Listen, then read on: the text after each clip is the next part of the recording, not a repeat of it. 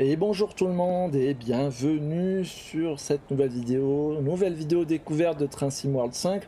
Aujourd'hui on va voir la, ligne anglaise, donc la West Coast Main Line South, Londres, Easton, Milton Keynes et nous on est en garde Londres Easton.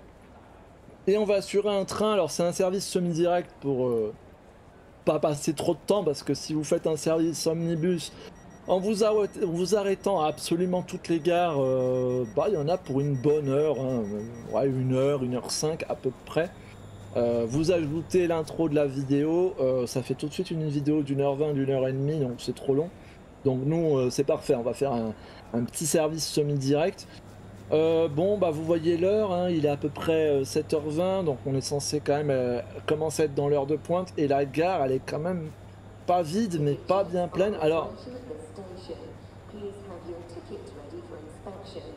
Voilà, il faut avoir les, billets prêts pour éventuellement une inspection. On a des petites annonces génériques, alors on les a hein, sur les autres lignes anglaises, notamment sur la Southeastern High Speed, euh, et puis dans les lignes allemandes aussi, hein, mais ce sont des annonces euh, génériques, évidemment, il n'y a pas d'annonce de destination ou autre. Alors effectivement, on n'est pas forcément dans le bon sens, euh, puisque nous, on va vers la banlieue, donc on peut penser que c'est plutôt des gens qui viennent de la banlieue et qui vont vers Londres, par exemple, pour aller travailler.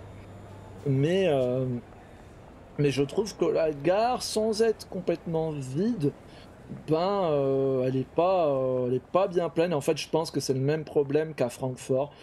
c'est certainement des problèmes de performance. Non, je ne veux pas abandonner le service. Et non, pourquoi tu me mets la carte? Ça, j'ai pas compris. Je crois que c'est nouveau depuis cette année.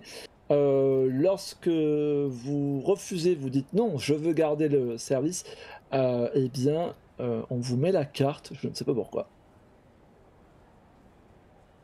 Ok, on a des petites pubs, on a des petits euh, assets, distributeurs de billets et autres.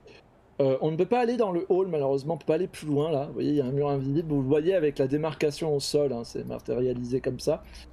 sinon, dans l'autre sens, dans ce sens-là, je peux aller jusqu'au bout des voies, je peux traverser toute la plateforme.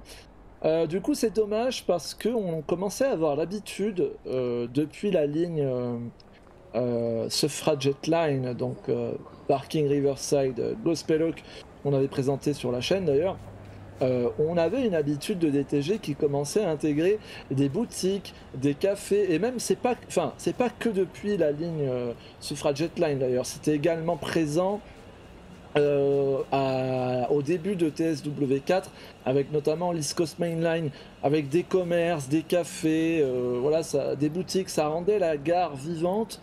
Là, on les a pas tellement. Enfin, on les a, mais on peut pas aller dedans puisqu'elles sont derrière le mur invisible. Donc, euh, c'est dommage. Ça fait un petit retour en arrière qui est pas très agréable parce que bah, je trouve la gare de Londres moins vivante que, que celle de Francfort pour le coup. Euh, alors, on aborde la classe 350, matériel qui date, je crois, du début des années 2000, euh, matériel qui est capable de fonctionner euh, en courant alternatif sous 25 000 volts, donc via caténaire, et également en courant continu. Vous voyez, on a les sélecteurs ici, alors pas le faire en roulant, qui peut aussi rouler donc sous enfin sur plutôt troisième rail sous 750 volts continu.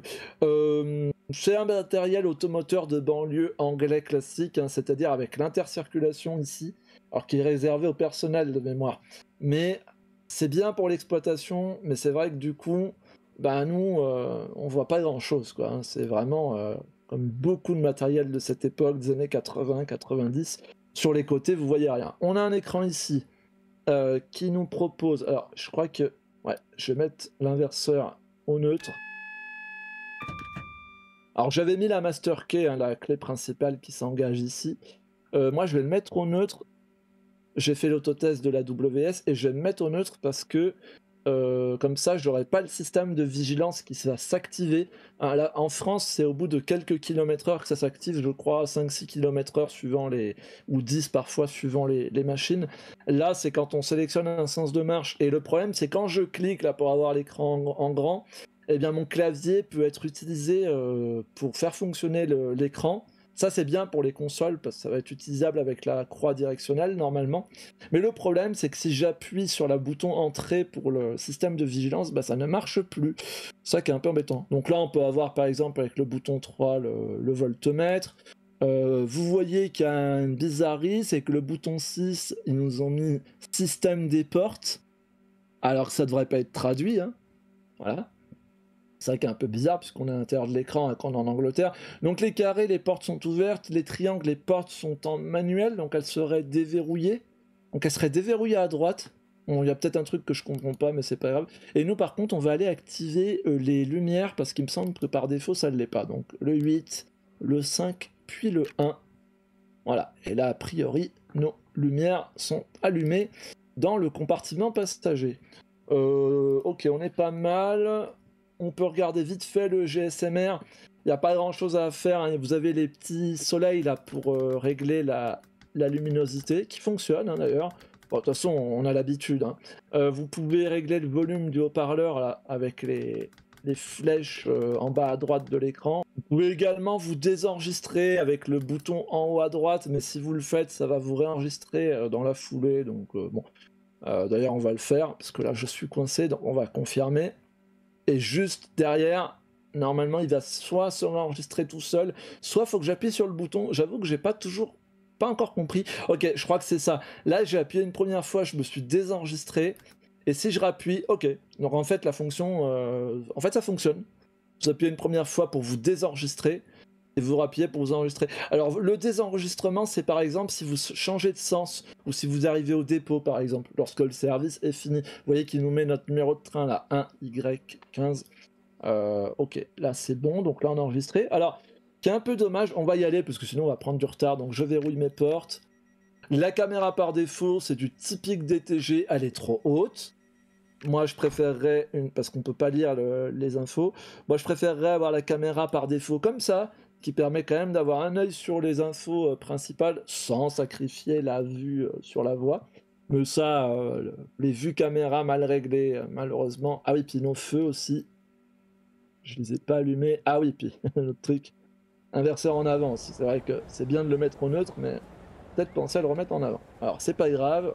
On va partir juste après. J'ai oublié. Ah oui, il y a pas, il y a des collisions avec la caméra qui nous gênent dans cette gare. Voilà. Hop.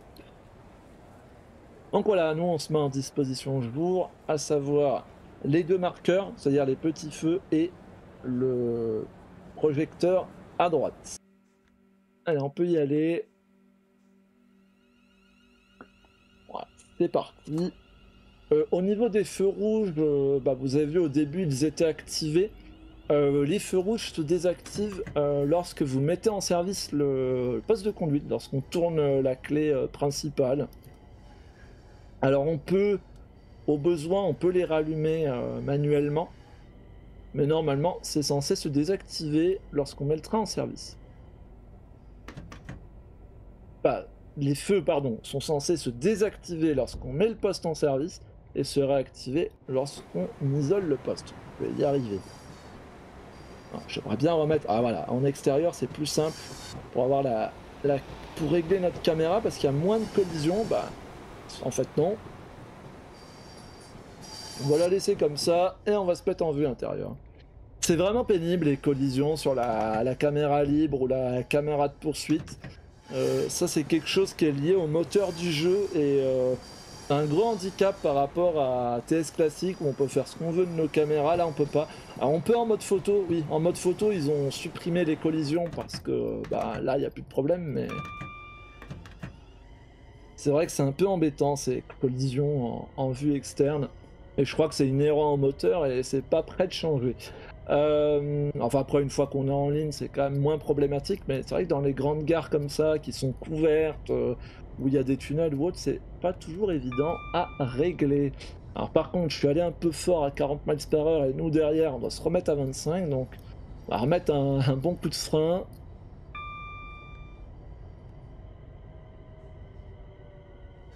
Ah, très léger avec cette vitesse, mais ça va.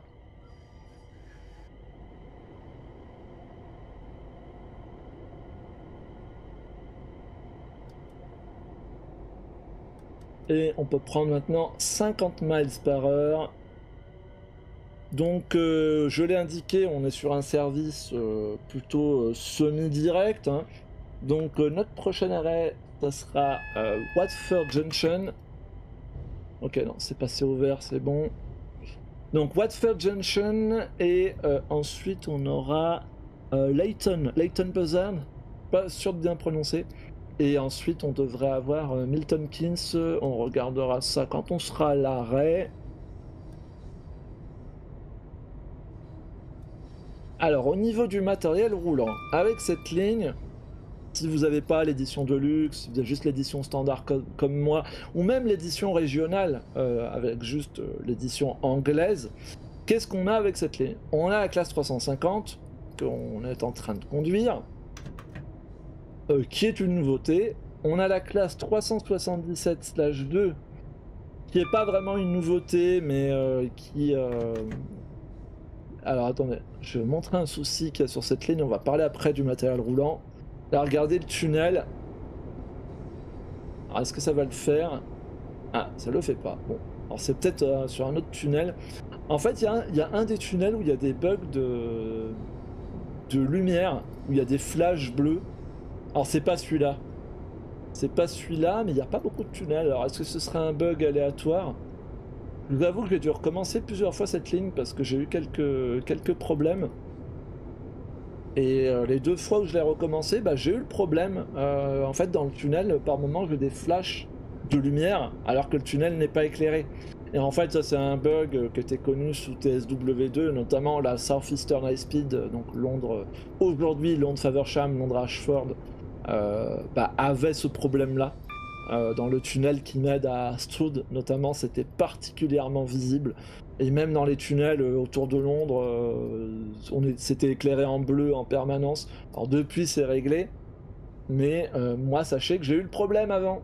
Et que c'est vraiment quelque chose d'impardonnable aujourd'hui dans TSW5. Hein. C'est quelque chose qui est censé être corrigé depuis TSW3. Donc c'est pas normal qu'on ait, même de manière aléatoire, c'est pas normal qu'on ait ces problèmes-là. Alors là, j'ai de la chance. J'ai plus ce problème. Peut-être que j'ai chargé un peu la ligne dans le cache aussi. Peut-être. Euh, alors, on va le voir, peut-être c'était dans ce tunnel. Peut-être mal. Euh... Bah non, ça c'est juste un pont. Euh. Ah, quoi que ça pourrait. Ça pourrait. Non. Non, là ça va. Là ça va. Donc, euh, non, non, c'était dans le tunnel précédent. Mais comme j'ai dû recommencer deux, trois fois, je pense que le cache a dû commencer à se remplir. Et en fait, ces problèmes de flash, c'est peut-être la ligne qui se charge au fur et à mesure. Ah oui d'ailleurs, petit aparté euh, à propos de problème de cache, alors euh, en plus je suis pas sûr que ça vienne de là, mais initialement je devais faire une vidéo avec la Vectron euh, Flixtrain sur la ligne Francfort-Fulda. Et en enregistrant la vidéo, j'ai toujours pas compris pourquoi, j'avais pas mal de lag.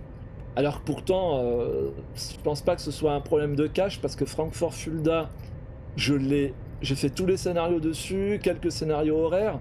Je vous ai fait le, la présentation de l'ICET, on n'a pas eu de gros problèmes, à part quelques petites lenteurs à Francfort, mais bon, euh, c'est une grande ville, une grosse gare, on va dire qu'on peut presque pardonner, mais après, il n'y avait plus de soucis. Enfin, je n'ai pas souvenir y ait eu de gros problèmes. Alors, on va regarder sur ce tunnel-là. Ah voilà, non, c'était dans ce tunnel, voilà. Vous voyez, ça, ça c'est impardonnable ces flashs là, on est dans TSW5, depuis TSW3 c'est censé être réglé. Là c'est inadmissible, euh, en plus c'est le contenu de base, hein, donc euh, bon, ça la fout quand même un peu mal sur la, sur la présentation.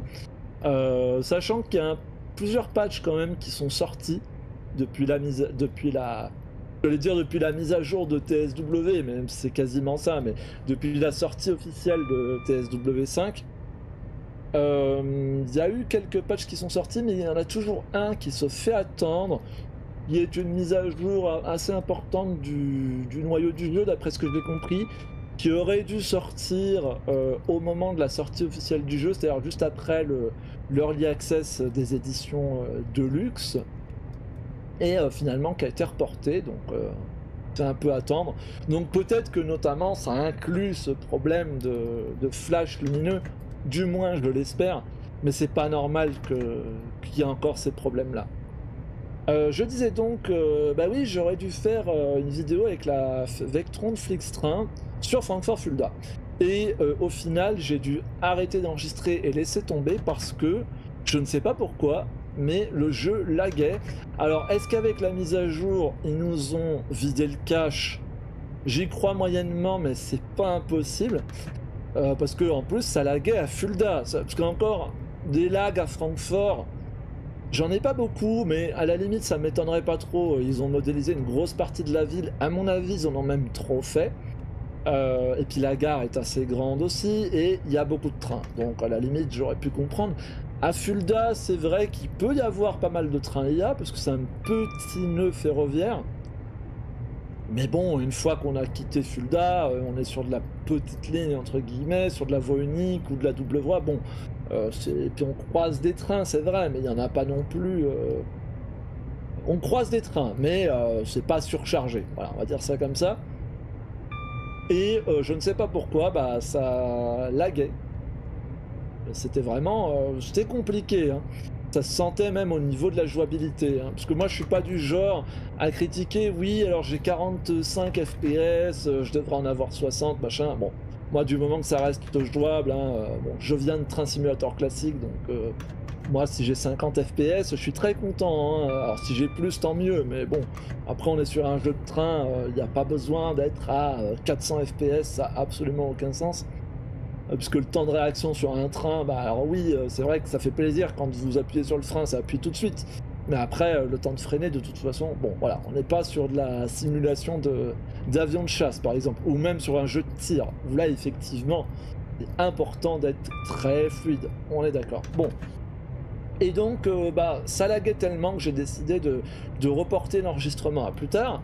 Et en fait, heureusement que j'ai eu ce problème-là, parce que, eh bien, France Simu a sorti euh, samedi matin un, contenu également sur la Vectron de Flextrain. Donc, euh, alors il l'a sorti, je crois, assez tôt.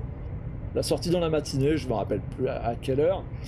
Mais au final, heureusement que j'ai eu ce problème et que je vous ai pas proposé euh, cette vidéo sur la Vectron de Flextrain parce que je pense que vous êtes quand même un certain nombre à me suivre à la fois France Simu, enfin à suivre à la fois France et à la fois moi. Vous, vous êtes certainement un certain nombre à, nous suivre euh, en simultané, donc vous auriez eu deux fois le, même contenu. Pas tout à fait la même vidéo, parce que, euh, bon, lui, il présente, euh, dans sa vidéo, il fait à la fois la présentation de la Vectron, de la ligne, et aussi des quelques nouveautés du jeu. Il fait. Il a décidé de faire tout d'un coup, du coup ça donne une vidéo un petit peu longue, mais qui est quand même intéressante à regarder. Alors c'est pour ça, moi c'était pour éviter d'avoir des vidéos, trop longues, j'avais préféré faire une vidéo dédiée aux nouveautés que vous avez été assez nombreux à suivre d'ailleurs, je vous en remercie.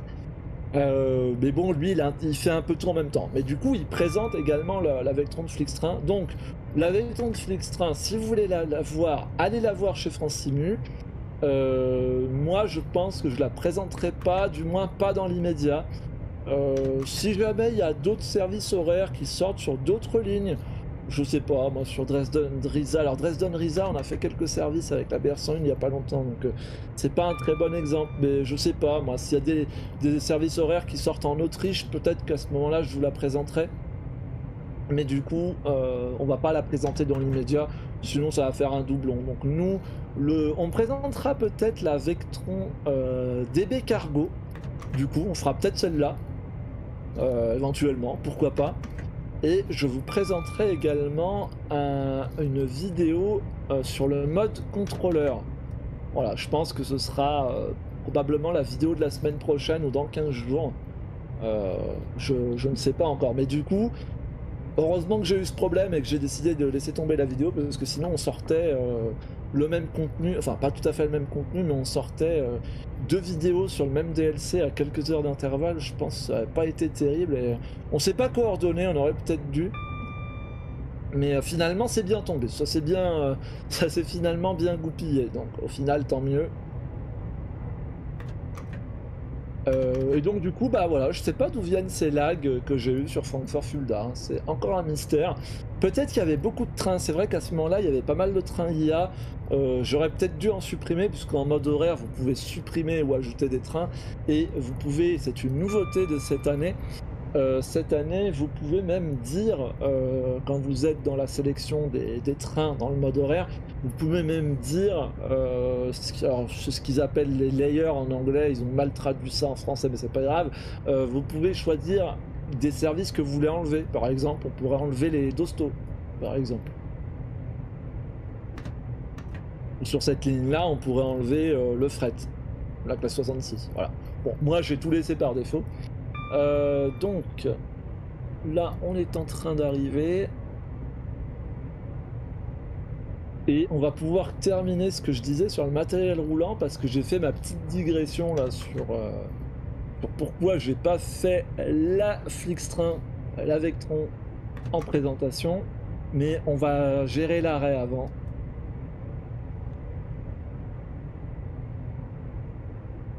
On va d'abord gérer notre arrêt, on parlera du matériel roulant de cette ligne et du principal défaut de cette ligne juste après. Parce que malheureusement, il y a deux façons de voir les choses, mais bon, on va voir. Déjà, on s'arrête.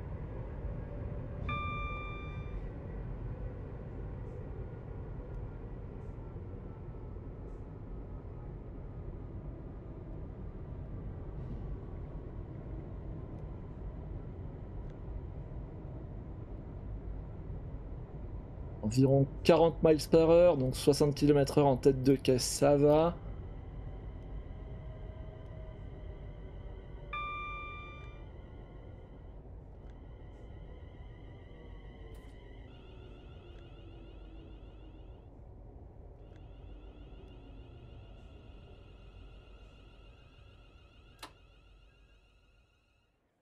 Et voilà, c'est pas trop mal Alors oui, alors en reparlant du matériel roulant, malheureusement, il n'y a pas de licence sur cette machine. Normalement, c'est LNWR, qui doit vouloir dire euh, London and North Western Railway. Je pense que c'est ça la signification. Et ils n'ont pas eu la licence. Donc ça, c'est vraiment dommage. Alors c'est peut-être pas entièrement de leur faute, peut-être qu'ils étaient en bonne voie pour avoir la licence et qu'au dernier moment, on leur a dit non. Ça, c'est possible. Euh, alors, on a toujours les panneaux pour les destinations. Bon, ça, vous connaissez. Hein. On va y aller. Donc, peut-être qu'au dernier moment, on leur a dit non. Euh, je pense qu'un des problèmes, euh, en fait, c'est un peu le problème de l'Angleterre, c'est que vous avez des lignes. vous avez non pas un opérateur qui peut éventuellement être privé qui roule, mais vous avez des lignes. vous avez parfois plusieurs opérateurs qui roulent sur le même segment, sur la même section. Et donc peut-être que, alors c'est une hypothèse, c'est spéculatif, hein, on ne sait pas, hein, ça n'a pas été expliqué, mais peut-être qu'LNWR a dit, bah non, euh, vu que vous allez mettre euh, Avanti West Coast sur la ligne, euh, nous on considère que c'est un concurrent, donc on vous donne pas notre licence, faut retirer le contenu d'Avanti West Coast. Alors Avanti West Coast c'est la classe 390. Je pense qu'il y a peut-être une histoire comme ça, euh, et c'est vrai que ça a tendance à, rendre les, licences anglaises compliquées. Et d'ailleurs, au passage, ils ont également perdu la licence GWR sur euh, Paddington euh, Reading, qui va être d'ailleurs remasterisée. Alors, ils ont pu régler ce problème-là en mettant le concessionnaire d'avant, c'est-à-dire ils ont mis First de mémoire. Donc ça marche aussi. Euh, au moins sur GWE, du coup, sur euh, Great Western Express, au moins on ne se retrouve pas avec un train sans licence. C'est déjà ça. Mais euh, là, c'est un, peu, un peu dommage. Alors, encore une fois, je pense que ça a dû intervenir assez tard. Hein. Je pense qu'ils avaient déjà créé le matériel roulant, créé la ligne, lorsqu'on leur a refusé la licence. probablement que c'est ça. Mais euh, bon, bah, c'est un peu embêtant. Alors, il y a quelqu'un qui travaille sur un mode. Alors, pour les consoles, vous avez une alternative éventuellement via le Creator Club. Il y a quelques livrets euh, qui sont sortis qui intègrent des logos euh, faits maison. mais sur PC, normalement, il y a quelqu'un qui est en train de faire une belle livrée, une vraie livrée, bah, qui reprend cette livrée-là avec les logos. et également peut-être les logos dans certaines gares d'ailleurs pas trop sûr de ça. Mais en tout cas, euh, il y a un mode qui devrait sortir sur PC qui est peut-être sorti, mais de toute façon, je préférais vous montrer le, contenu d'origine. Et euh, après, si on rejoue sur cette ligne plus tard dans l'année, et eh bien à ce moment-là, si le mode est sorti, je le mettrai, ça sera plus sympa. Donc au niveau du matériel roulant, nous avons la classe 350 qui est probablement la seule nouveauté de la ligne, la classe 377 qu'on a déjà sur euh, un certain nombre de lignes anglaises, surtout pour les lignes avec le troisième rail, hein, notamment une partie de la Southeastern High Speed ou bien la, la Londres Brighton j'ai un petit doute là-dessus parce qu'il y a 3... Il me semble qu'il y a la 387 et la 377, mais j'ai un léger doute là-dessus. En tout cas, la classe 377 n'est pas nouvelle. Simplement, on a une nouvelle variante qui a le pantographe. Donc on l'a en version euh, bitension, c'est la, seule petite différence. Sinon, euh, l'intérieur de la machine c'est le même, euh, les scripts de la conduite ça n'a pas changé, les sons ce sont les mêmes. Mais bon, ça fait un peu de variété sur la ligne, à la limite pourquoi pas. Vous avez également un contenu qui est présent dans quasiment toutes les lignes anglaises, même les lignes britanniques de manière générale. C'est la classe 66. Alors classe 66 qu'on a depuis très longtemps sur le jeu, hein, depuis 2018 je crois. Mais si jamais vous n'avez aucune ligne anglaise et que c'est votre première version de Train Sim World, bah, la classe 66 c'est quand même une locomotive qui est réussie, qui a été euh, remasterisé, euh, rafraîchi il y a un an ou deux, je sais plus. Donc euh, voilà, c'est une locomotive qui reste il y a deux ans, je crois, avec Southeastern, la mise à jour de Southeastern High Speed. Donc c'est une locomotive qui, reste tout à fait bonne. Alors c'est pour du fret, hein. c'est du diesel et c'est du fret, si vous connaissez pas. C'est une locomotive qui est plutôt bien modélisée et qui reste très très pertinente pour le fret anglais, de toute façon, euh, sur les lignes anglaises, au niveau du fret, vous n'avez pas beaucoup de choix. Hein. En fait, euh, vous avez que la classe 66 à l'heure actuelle. Euh, ça manque de lock électrique classique sur Train Sim World. Du genre la classe 90, la classe 92 par exemple, pour du fret, ça pourrait être intéressant. mais bon, c'est cool de, l'avoir. Vous avez également le métro, euh, le Tube Stock de 1972, à moins que ce soit du ce soit l'ancienne version. Non, je crois que c'est ça. Euh, en tout cas, c'est le train de base euh, sur la Baccalo Line. Donc ils l'ont sorti. Pourquoi? Bah Parce que tout simplement, la Baccalo Line et surtout son extension, la Watford DC Line, eh ben, en fait, elle longe pendant un long moment la... cette ligne la West Coast Main Line. Donc euh, c'est pour ça qu'ils l'ont rajouté. C'est bien, ça fait, euh, ça fait de, du trafic IA en plus. Alors, ils l'ont pas ajouté en tant que train IA. Hein. Il est parfaitement contrôlable en mode horaire. Mais euh, tous les trains que je viens de citer sont utilisables par le joueur. Mais l'avantage que ça a, c'est que si vous faites un service, eh ben, vous croisez plusieurs types de trains. Donc on va, on va voir, on va voir ce qu'on va croiser, sachant qu'on est quand même le matin, donc on devrait, on devrait croiser pas mal de trains euh, différents, enfin pas mal. On, on, devrait croiser de la classe 377, de la 710 et euh, peut-être un peu de classe 66 si on a du bol.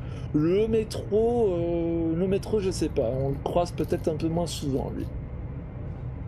Alors la classe 710, puisque je viens d'en parler, euh, la classe 710, elle, n'est pas livrée avec la ligne. Par contre, si vous possédez la ligne, la Suffragette Line, donc Barking Riverside Gospel Hawk, que je vous ai présenté il y a quelques mois sur la chaîne, il n'y a pas longtemps, eh bien, ça vous ajoute des services avec la classe 710 sur la Watford DC Line en tant que London Overground, puisqu'il est présent, cet opérateur, enfin, c'est même pas un opérateur, enfin c'est un peu compliqué. Euh, à Londres, il y a des concessions, il y a plusieurs activités qui sont attribuées à du privé, euh, mais il y a une entité publique qui chapeaute tout ça.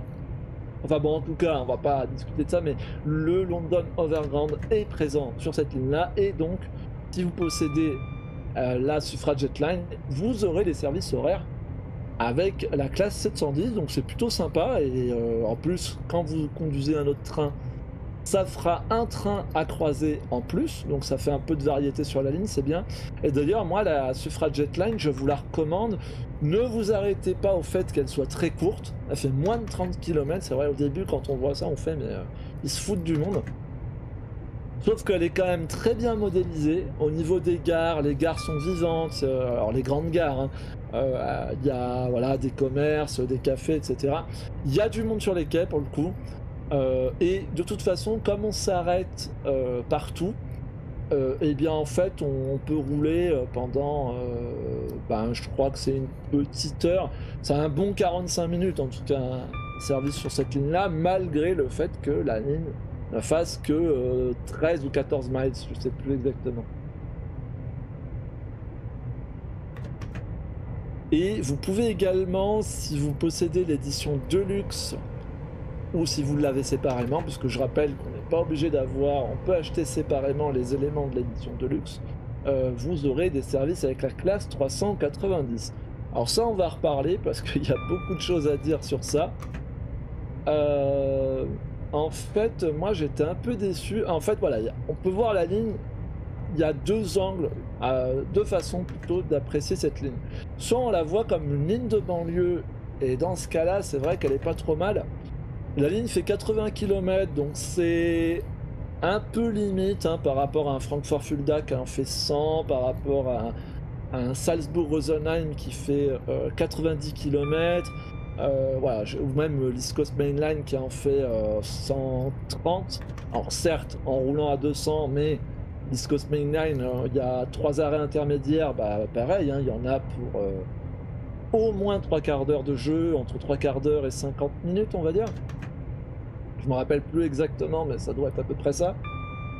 Euh, alors là, effectivement, la West Coast Mainline South sur Train World 5, si vous la voyez comme une ligne de banlieue, il n'y a pas de problème. hein. Comme j'ai dit en début de, vidéo, si on s'arrête à toutes les gares, on en a pour une heure de jeu.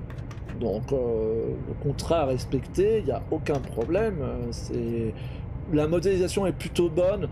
Je trouve que la gare de, Londres euh, Easton aurait pu être euh, un peu plus. euh, ah, pardon. J'ai un coup de frein parce que j'ai cru qu'il y avait un ralentissement plus loin, mais non. Oui, je trouve que la gare de Londres Easton aurait pu euh, être un peu plus vivante, avec un peu plus de, de boutiques ou de, ou de cafés comme à, comme à Francfort. C'est un petit défaut, euh, voilà, c'est un peu dommage. Euh, mais sinon, voilà, si vous l'appréciez comme une ligne de banlieue, euh, c'est plutôt bien modélisé. euh, c'est vrai que, voilà, on la considère comme une ligne de banlieue, c'est plutôt une bonne ligne. Maintenant, le problème, c'est qu'ils l'ont appelée West Coast Main Line South. Or, il y a quelques années, et on l'a fait sur la chaîne, il y a quelques années, sur Train Simulator classique, quand je dis il y a quelques années, c'est pas si vieux que ça, hein, ça doit avoir 3 ans. Ouais, il me semble que c'était en 2021, donc euh, ça, doit, ça doit faire 3 ans à peine. Euh, eh bien, sur Train Simulator classique, euh, DTG nous a sorti une ligne qu'ils ont appelée West Coast Main Line South, qui allait de Londres Easton à, eh bien, à Birmingham New Street. Le problème, il est là. C'est qu'il y a trois ans sur TS classique, on va jusqu'à Birmingham. Aujourd'hui, trois ans plus tard, sur Transcend World, on va jusqu'à Milton Keynes. Et c'est vraiment dommage parce que autant sur Londres Birmingham de la, 300 de la classe 390, je vais dire de la 390, mais oui, bah oui, on peut dire ça comme ça. La 390 sur euh, entre Londres et Birmingham, c'est c'est pas trop mal. D'ailleurs, il me semble que on avait fait du fret, mais il me semble qu'on avait fait un service en classe 390 sur euh, sur train simulateur classique entre Birmingham et euh, Londres euh, Easton. Il me semble qu'on avait fait ça. Donc du coup, c'est plutôt pertinent. Mais entre Londres et Milton Keynes, déjà ça fait bizarre. Et en plus, euh, ça fait bizarre au niveau du trajet. Et en plus, c'est très court. Parce que la, tra- la 390, elle, peut rouler à 200. D'ailleurs, vous avez peut-être vu les panneaux jaunes. Je crois que c'est marqué EPS dessus, il me semble. Et vous voyez que nous, on est limité à 110 miles par heure. Mais en classe 390, ici, vous pouvez rouler à 125 miles par heure. Donc 125 miles par heure, ça fait 200 km heure. Et 110 miles par heure doit faire 175 km heure à peu près. À peu près dans. Oui, ça doit être ça. Et donc le problème, c'est que la classe 390 entre Londres et Milton Keynes, c'est trop court. C'est 35-40 minutes grand maximum. Quand je dis 40 minutes, c'est quand ça va bouchonner et qu'on va vous arrêter euh, devant un signal fermé ou quand on va peut-être vous mettre un arrêt supplémentaire, euh, je ne sais pas trop où, je sais pas trop où il s'arrête le service. C'est dommage parce que la, la machine, alors moi je l'ai pas, mais euh, il y a des gens sur Discord qui me l'ont montré, je l'ai vu aussi dans le live de DTG. Euh, c'est dommage parce qu'elle est plutôt bien modélisée, il n'y a pas énormément de défauts sur cette machine, mais pour en profiter 35 minutes, euh, c'est dommage. C'est dommage parce que autant la Vectron de Flixtrain sur Francfort Fulda, vous allez pouvoir en profiter une petite heure à chaque fois. Hein, c'est ouais, un bon 50 minutes hein, de... de scénario euh, entre Fulda et Francfort Sud. Parfois, c'est même un peu plus. Alors c'est rarement au-delà de l'heure de scénario sur Frankfurt Fulda, mais c'est au moins 45 minutes, 50 minutes, au moins. Donc, à mon sens, on profite beaucoup plus de la Vectron Flixtrain sur Frankfurt Fulda qu'on profite de la classe 390 sur Londres Milton Keynes. en fait, le problème, c'est que bah oui, la ligne, elle fait 80 km. Alors 80 km où on roule quasiment tout le long, pour pas dire tout le long, à 200 km/h, ben oui, forcément, ça fait. Et encore, 35 minutes, c'est quand on s'arrête. Euh, c'est quand on s'arrête. Euh, sur un train euh, direct, j'ose même pas imaginer. ça doit faire une demi-heure à peine. Donc, alors je pense pas qu'ils ont mis des services directs, évidemment, ils ont forcément mis des arrêts pour rallonger artificiellement le service. Mais euh, pour moi, c'est vraiment trop court. Et c'est là où je suis un peu déçu. Parce que DTG a fait beaucoup monter la hype euh, sur cette ligne. Euh, notamment par rapport à la classe 390. mais on va, on va en reparler. Je vais peut-être faire mon arrêt et vous reprendre après. Faire mon arrêt Layton et on en reparle juste après.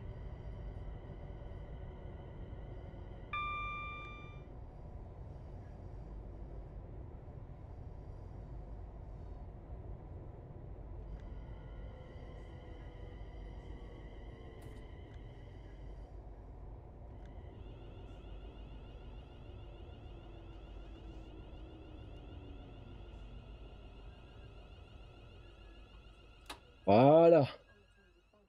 Impeccable.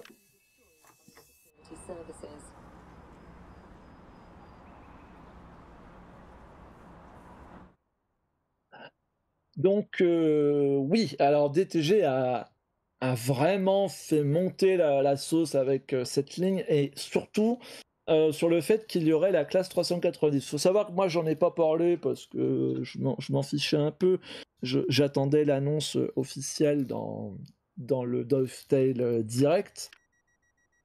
Mais euh, cet été, euh, je crois que c'était au mois d'août euh, ou à fin juillet, je ne sais plus exactement, il y a du contenu qui a, qui a fuité sur Train Sim World 5. Et notamment, il y avait un joli screen de la classe 390. Alors d'après DTG, c'est un bêta-testeur euh, qui, euh, qui, a fait fuiter du, contenu, du moins qui a fait fuiter les, screenshots. Moi, j'y crois pas trop. Alors, c'est pas totalement impossible, c'est vrai. Mais euh, moi, je pense que c'est DTG eux-mêmes qui ont organisé le, le, le leaks pour, pour faire parler d'eux. Voilà, moi, je suis en tout cas, c'est l'hypothèse que je privilégie. ok, première, prochaine gare, Betchley. Euh, je suis pas je suis pas trop sûr de la prononciation. Euh, donc pour moi, c'est eux qui ont organisé les, leaks. Et euh, ils ont beaucoup joué sur le fait qu'il y avait la classe 390. Et euh, à ce moment-là, on ne connaissait pas encore, on n'avait pas les détails, on savait qu'il y aurait la West Coast Main Line. De toute façon, il y avait eu l'East Coast Main Line sur TSW4, donc c'était un peu dans la logique. Et la, classe 390 en livrée à 20 West Coast, bah, il n'y avait plus de doute. Juste, on savait pas quelle allait être la ligne. On savait plus ou moins, on sentait venir qu'on aurait Londres parce que ça avait été demandé et je sais que beaucoup de gens n'avaient pas apprécié l'East Coast Line parce qu'il n'y avait pas Londres.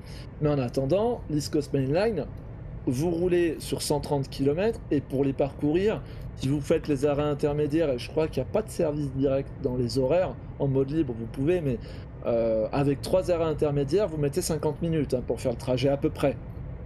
Vous mettez pas 35 minutes, c'est ça que je veux dire.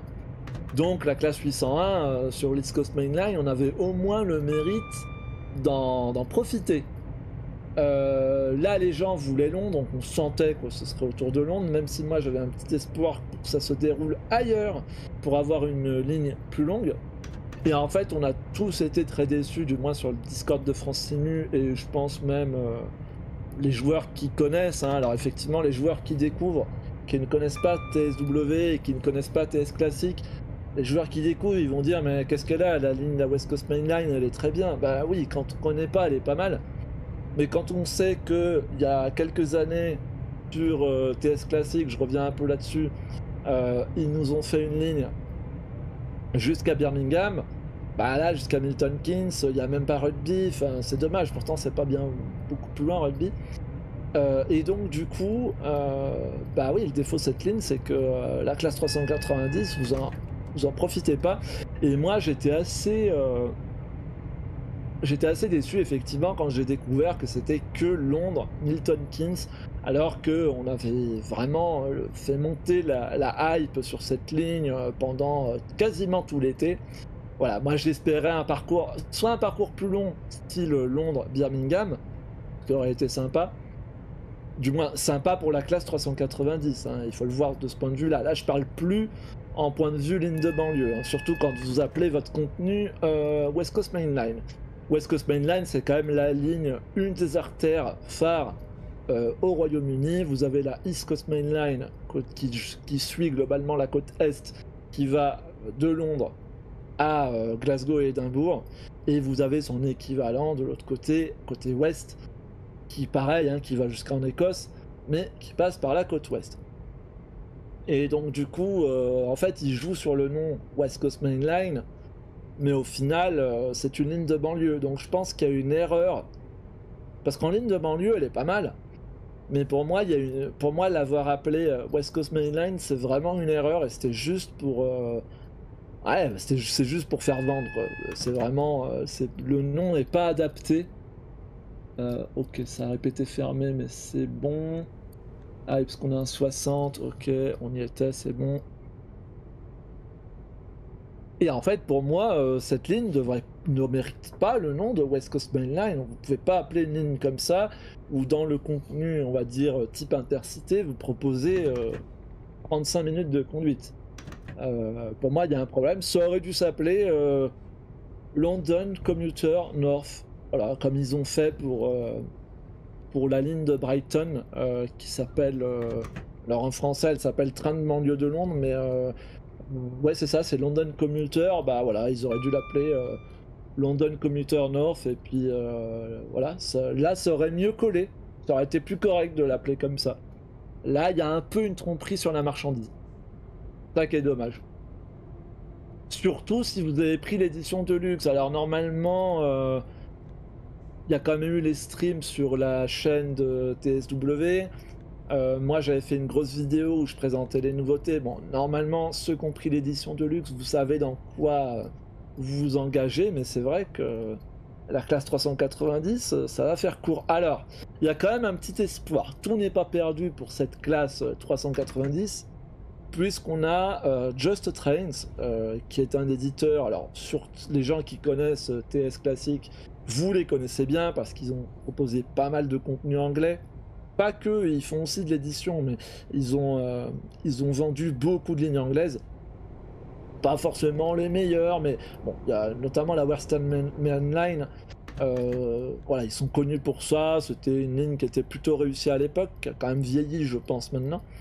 Euh, donc maintenant, ils viennent, enfin, ils sont présents depuis l'an dernier sur TSW, puisqu'ils ont modélisé des lignes de banlieue, on va dire, autour de la ville de Preston.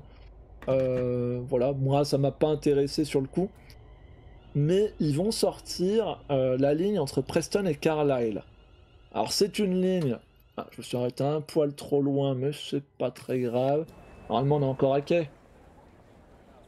Ouais, ça va. Euh, donc Preston Carlisle, eh ben, ça fait partie de la West Coast Main Line. Ah oui, la première porte un poil trop en avant. Ça fait partie de la ligne euh, West Coast Main Line, hein, c'est sur le trajet, mais surtout, entre ces deux villes, il y a 160 km. Alors c'est une ligne qu'on a déjà sur TS classique, hein, c'est un peu un doublon. par contre, on, va la voir à l'époque années 80, c'est bien et pas bien. C'est bien parce qu'on sait qu'on aura la classe 87, euh, donc en rame tracté, locomotive électrique, euh, qui est euh, assez emblématique quand même de la ligne, donc pour ça c'est bien. Mais j'espère qu'il y aura un mode horaire, soit à la sortie de la ligne, soit plus tard. J'espère qu'on aura un mode horaire avec la classe 390, qui viendra soit de Just Train, de l'éditeur, soit peut-être d'un modeur mais j'espère que, c'est quelque chose qu'on verra.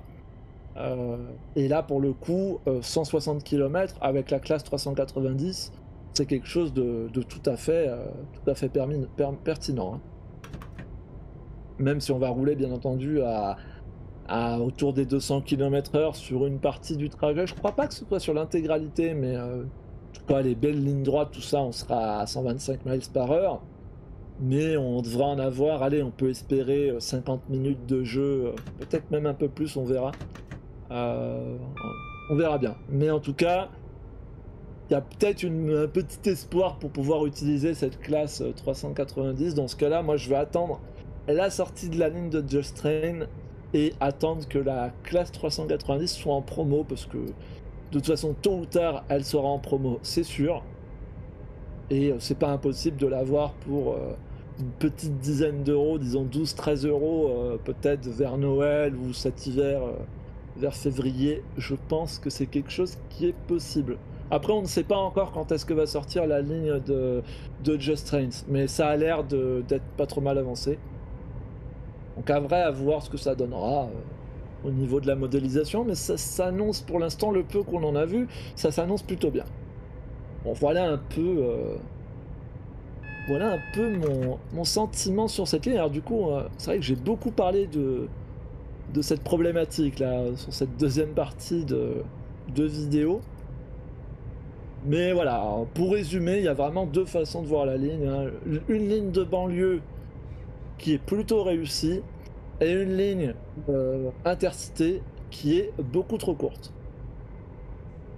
Et euh, voilà, c'est ça qui est, ça qui dommage. Euh, encore une fois, c'est bizarre d'avoir un contenu qu'on a déjà sur euh, TS classique, mais, mais ne pas avoir la même distance, d'avoir une distance plus courte. J'ai du mal à comprendre. Avec le même nom, évidemment, la ligne, elle s'appelle pareil. Hein. Sur TS classique, elle s'appelait aussi West Coast Main Line South, et c'était mieux mérité. Mais sinon, en dehors de ça, si vous êtes plus euh, train de banlieue, bah pourquoi pas. Hein. En, vrai, euh, si le, moi, la banlieue, ça a tendance à me gonfler pour TSW parce que c'est un type de service qui revient beaucoup trop souvent. Que ce soit sur les lignes anglaises, sur les lignes allemandes, c'est quasiment que ça. Alors, pas toujours, il y a des exceptions, mais majoritairement, c'est tout le temps ce type de contenu. Donc moi, ça a tendance à, vraiment m'agacer et euh, bah, je pense que la ligne anglaise, euh, je vais pas beaucoup rouler dessus. Voilà, cette ligne-là en particulier. Ou alors je vais faire du fret ou euh, de la classe 710 peut-être. Euh, quitte à faire de la banlieue, autant le faire sur du matériel récent qui me plaît plus que ce type de matériel, même si c'est un matos un petit peu iconique, mais moi à la limite je préfère rouler avec la classe 710. Ah mince, on pouvait, ouais, de toute façon c'est fermé au bout. Non, on va rester à cette vitesse-là, c'est très bien. Euh, voilà, clairement, euh, faut l'avoir comme une ligne de banlieue, mais ça n'a pas été vendu comme ça. C'est ça qui est vraiment dommage. Sinon, on arrive tout doucement à la fin de cette vidéo. On va quand même aller découvrir l'intérieur de ce train. Hein. On va pas déroger à la, règle. Oups, on va peut-être freiner. Euh, j'espère que ça vous a plu et voilà, on, vous appréciez toujours ces vidéos sur TSW5. La prochaine vidéo, logiquement, je pense qu'on parlera du mode contrôleur. parce qu'il y, a, y a pas mal de choses à, dire sur ce mode de jeu. C'est pas. Enfin, vous verrez, voilà. Ce sera probablement la prochaine vidéo. Et puis, on fera peut-être un peu de fret avec la Vectron Cargo sur Francfort Fulda, on verra. voilà. Hop, on va faire notre arrêt, parfait. On va mettre hors service, donc... Euh, alors normalement, il faudrait mettre le DRA. Il est où le DRA Je crois qu'il est là-haut, non? Ah non, ça c'est le Panto. Euh, doit être en bas.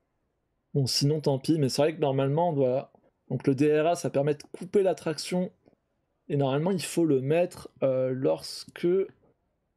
lorsque le signal est fermé devant, mais...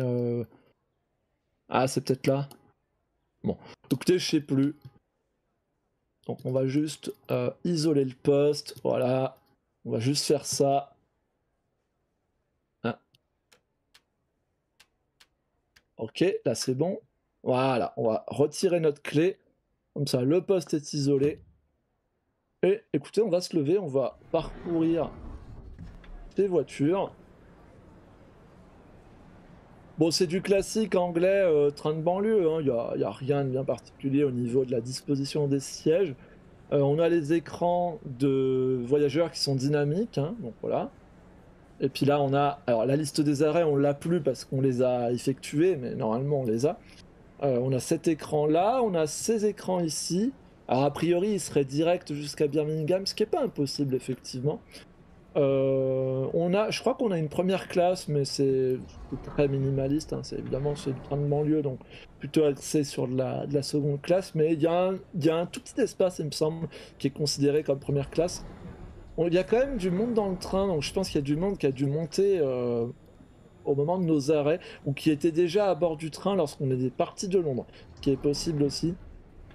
Là, c'est vrai que le train, on peut pas dire qu'il soit vide, il n'est pas bondé, mais on va dire que ça va à peu près. Et là, euh, là j'arrive, voilà, j'arrive dans l'autre cabine. Voilà. Et on est en unité euh, simple. Donc voilà un peu, hop là, un autre service de l'autre côté. Voilà un petit peu euh, à quoi ressemble le train, rien d'exceptionnel. voilà, encore une fois, c'est de la banlieue mais pas trop mal modélisé quand même, je trouve. Et nous, on va sortir et on va se quitter. Voilà.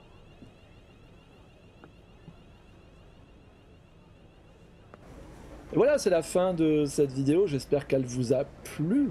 Nous, on se retrouve en principe mercredi prochain pour du Transport Fever 2. Euh, essayez de regarder les épisodes de Transport Fever 2 parce que sinon, euh, je vais arrêter la série assez rapidement euh, parce que le premier épisode a bien marché, le deuxième très mal, hein. franchement pas fou donc a priori ça vous intéresse pas trop et sinon on se donne rendez-vous samedi prochain pour un autre contenu autour de Train Sim World ou peut-être de Train Simulator classique en tout cas sur de la conduite. À bientôt tout le monde, ciao